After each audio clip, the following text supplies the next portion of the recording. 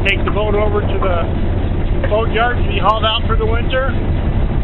Winds are blowing pretty good. Right now they're about 15, but just sitting here a couple minutes ago they were 25. We're supposed to be getting uh, gusts up to 40 plus, so scale warnings out for this afternoon. Waves right now are 3 to 5, but they're supposed to get up to uh, 8 to 10 a little bit later mid-afternoon. So we're not going to do any sailing. We're just going to uh, head over to, to the boatyard.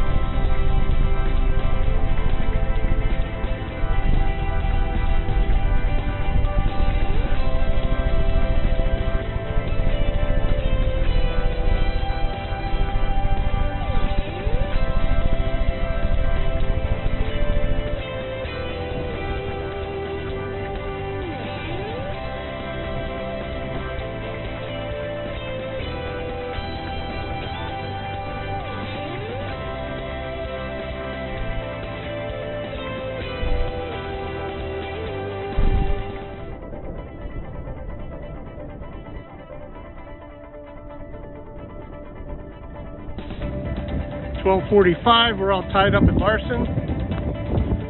Gonna run over real quick, drive back to the marina to pick up Rich's car. Then we'll uh, do some winterization on the engine. Then be done for the day. That was a uh, exciting little ride over though. We had a couple pretty big, uh, I'm almost 8 to 10 footers I think. We'll see what the video looks like.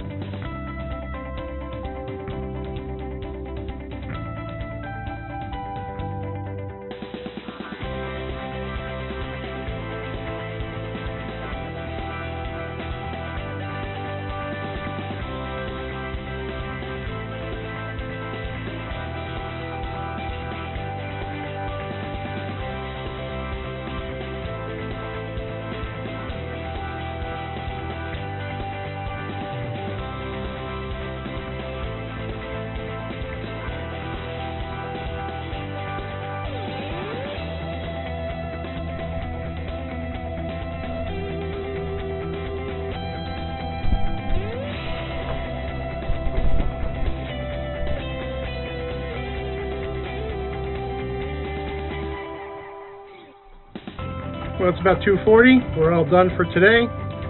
We uh, took the mainsail down, took the Genoa down, got the lines all buttoned up, and I changed the uh, engine oil, flushed antifreeze through the engine as well. So we're good. Hopefully until next weekend when we'll come up and put the frame and the cover on. Right now it went blowing 20 or so from the south, blowing us into the dock. Tomorrow it's supposed to blow 40 and maybe gust to 50 in the opposite direction, away from the dock.